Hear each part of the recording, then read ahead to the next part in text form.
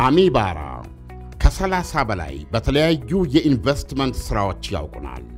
አሁን ደግሞ በአሚባራ Properties Business Group ለከተማችን አዲስ አበባ ሌላ ውበት ይሆናል ተብሎ የሚታመነውን የመኖሪያ መንደር ከፍተኛ መዋለ ንዋይን በማፍሰስ ወዳጅነት ፓርክ ፊት ለፊት ወይም ሼራተን ሆቴል አጠገብ 35751 ካሬ ላይ ያረፈ ዘመናዊ የመኖሪያ መንደር እየገነባ ይገኛል። አካባቢው ላይ ያለው ውብ እይታ መንፈስን የሚያድስ ነፋሻማ ንጹሕ አየር ያለው ነው።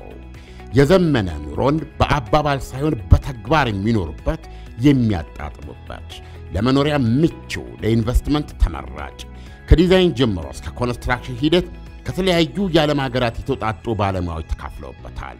ኮምፓውንዱ ግንባታው መጀመር ብቻ ሳይሆን 60 በመቶ ተጠናቋል። ኮምፓውንዱ ወይም ቅጥሩ የራሱ የሄሊኮፕተር ማረፊያ አለው።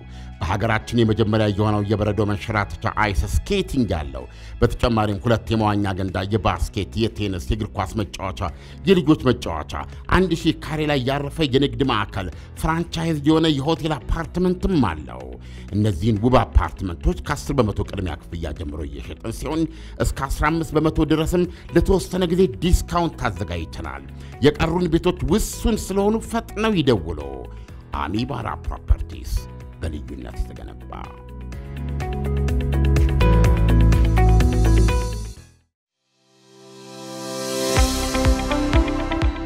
አዲስና ወቅታዊ ባንክ በምስረታ ላይ የቤት ባለቤት የመሆንና ሀብት የመፍጠር ጉዞ በገንዘብ እጥረት ምክንያት ህልም ሆኖ እንዳይቀር የሚያግዝ አለኝታ የመጣ ነው። ኦቪድ ቤቶች ባንክ አክሲዮን ማኅበር ከብሔራዊ ባንክ ፍቃድ በማግኘት የቤት መግዣና መስሪያ ብድር አቅርቦትን በማቃለልና ሌሎች ባንክ አገልግሎቶችን በመስጠት ለባለ አክሲዮኖች ጠቀም ያለና ዘላቂ ትርፍ የሚያስገኝ ባንክ። መግዛት የሚቻለው የአክሲዮን መነሻ ከ200 ሺህ ብር ጀምሮ ነው። የአክሲዮኑ 25 በመቶ በቅድሚያ ይከፈላል። አክሲዮኖቹ በኢትዮጵያ ንግድ ባንክ፣ በዘመን ባንክ፣ በህብረት ባንክ፣ በአማራ ባንክ፣ በዳሽን ባንክ፣ በፀሐይ ባንክ፣ በወጋገን ባንክ በኦሮሚያ ኮኦፕሬቲቭ ባንክና በአቢሲኒያ ባንኮች በመሸጥ ላይ ነው። ለተጨማሪ መረጃ አትላስ ፕላቲኒየም ፕላዛ አራተኛ ፎቅ ይምጡ ወይም በስልክ ቁጥር 0904 15 14 11 ይደውሉ ወይም www ኦቪድ ቤቶች ባንክ dot com ላይ ያገኙናል። ሕልምዎን ይኑሩ፣ ሀብት ይፍጠሩ። ኦቪድ ቤቶች ባንክ አክሲዮን ማኅበር በምስረታ ላይ። ይህ አዋዜ ነው። ከታሪካዊው የኢራን የሚሳኤል እሩምታና የሰው አልባ ወጀብ ጥቃት በኋላም እስራኤል የከፋና የከበደ የበቀል በቀል እንደምትወስድ ቢዘገብም አሜሪካ ግን እስራኤል ኢራንን በቀጥታ ከመምታት ይልቅ ወኪሎቿን መደብደብ ላይ ታተኩራለች ብለን እናምናለን ይላሉ። የአሜሪካ ሚዲያዎች ዛሬ እንደዘገቡት ከሆነ የኢራን እሩምታዎችና ወጀቦች ከባድ ጉዳት አለማድረሳቸው በቂ ሆነው እስራኤል የበቀል ጥማቷን በቀነሰ ደረጃ ወኪሎቿ ላይ እንድትወጣ ሊያደርጋት ይችላል ባይ ናቸው።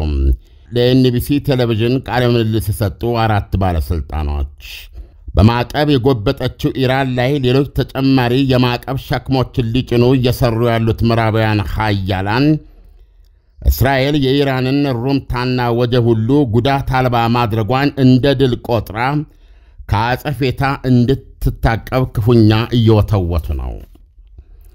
በመሆኑም እስራኤል ክልሉን ወደ ከፋ ጦርነት ሊያዳፋ ከሚችል ቀጥተኛ ምት ይልቅ በሶሪያ የሚገኙ ደጋፊ ኢራን ሚሊሻዎችና የሊባኖሱ ሄዝቦላ ላይ እልሃን መወጣቱ ላይ ልታተኩር ትችላለች ሲሉ ለቴሌቪዥን ጣቢያው ነግረዋል። ይሁንና ከኢራን ጥቃት በኋላ ዛሬ ለሦስተኛ ጊዜ ስብሰባ የተቀመጠው የእስራኤል ጦር ካቢኔ በትናንትናው ስብሰባ ኢራን ላይ የከፋና የከበደ የአጸፌታ እርምጃ ለመውሰድ መወሰኑን ባለሥልጣኖችን ጠቅሶ የእስራኤል ቻነል 12 ቴሌቪዥን ማስታወቁ አይዘነጋም። ትናንት የእስራኤል መከላከያ ኃይሎች አይዲኤፍ ኤታማዦር ሹም ሌተናንት ጄኔራል ሄርዚ ሃላቪም የኢራን ጥቃት ምላሹን ያገኛል ሲሉ ትናንት በይፋ አስታውቀው ነበር። ጠቅላይ ሚኒስትር ኔተንያሁና መከላከያቸው ጋላንት የሚገኙበት ባለ አራት አባላት የጦር ካቢኔ በትናንትና ውሳኔው እስራኤል እንዲህ አይነቱን ግዙፍ ጥቃት ያለ ተገቢ ምላሽ አትተውም ብሎ ነበረ። ቢሆንም እስራኤል ለጥቃ ልትወስድ የወሰነችው ምት ክልላዊ ጦርነት መጫርም ሆነ የኢራንን ፍላጻዎች አብረው የተፋለሙትን ባለብዙ አገራት ጥምረት መበተን አትፈልግም።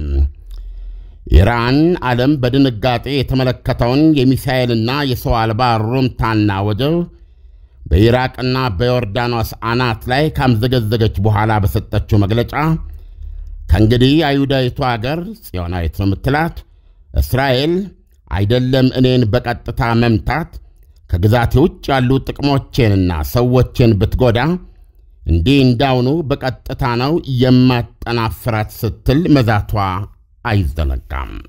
በኢትዮጵያ አቆጣጠር ከ1971 ጀምሮ የአሜሪካ ተከታይ ትንሿ ዳቢሎስ የምትላት እስራኤልን ከጋዛ እስከ ሊባኖስ እስከ ጎላን ኮረብታ ግርጌና እስከ ቀይ ባህር ደም ስር ባቤል ማንዴብ ዶሮ ማነቂያ ተዋጊዋ የመን ድረስ በማጠላለፍ የእሳት ቀለበት ያጠለቁት አያቶላዎች በኒውክሌር ቦምብ መሻት ክፉኛ ይጠረጠራሉ። ከወዲሁ ሂሮሺማና ናጋሳኪን ወደ እብቅ አፈር የቀየሩትን አይነት ሦስት አቶሚክ ቦምቦችን በአጭር ወራት ሰርቶ ለማውጣት አፋፍ ደርሰዋል ይሰኛሉ ሃይማኖታዊ አብዮታዊ የኢራን መሪዎች።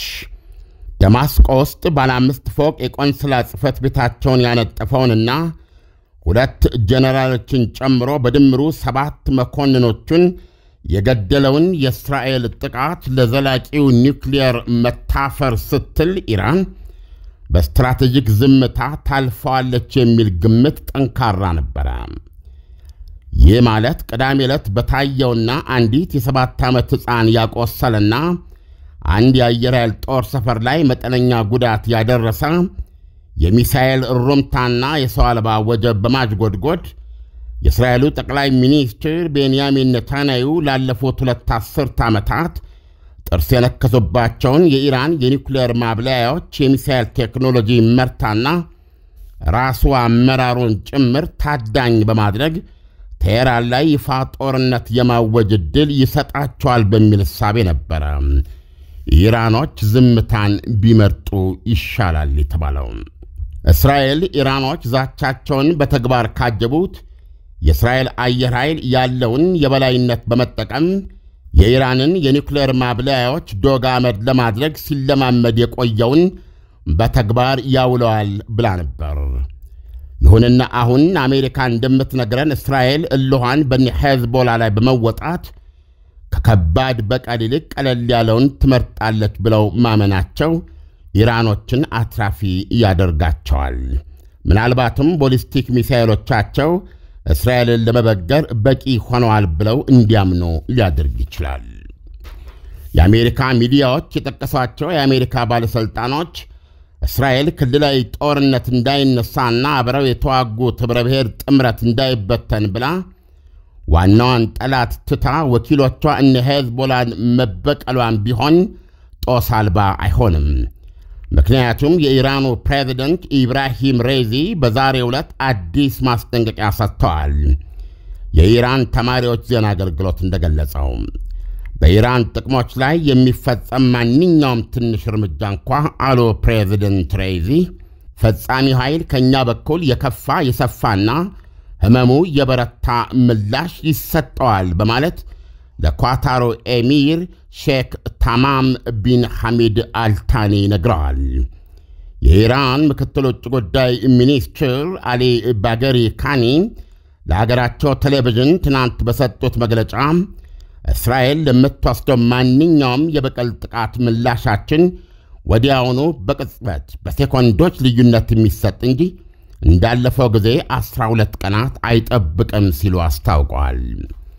በዚህ መካከል የእስራኤል ካን የብዙሃን መገናኛ እንደዘገበው እስራኤል ከባድና የከፋ ያለችውን በቀል አፈጻጸሟ የትኛውንም የአረብ ሀገር ከኢራን ጋር ጥርስ በሚያናክስ ሁኔታ እንደማይሆን ማረጋጊያ ሰጥታለች።